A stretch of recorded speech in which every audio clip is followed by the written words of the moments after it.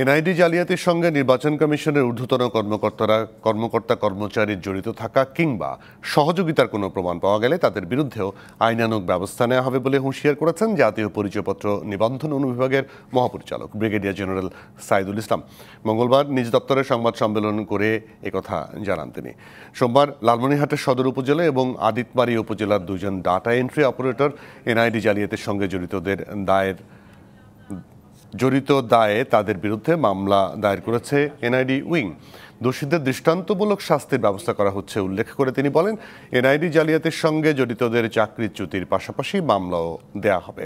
মাঠ পর্যায়ে শুধু নয়, সারা দেশের সকল কর্মকর্তা কর্মচারী নজরদারির আওতায় রাখা হয়েছে বলে জানান তিনি।